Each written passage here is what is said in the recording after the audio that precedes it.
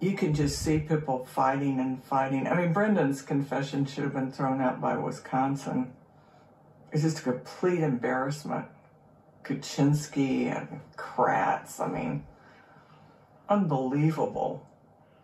So now it's on a world stage and they're frightened. So what are they doing? They're just clinging to this absolutely implausible story that was cooked up a long time ago.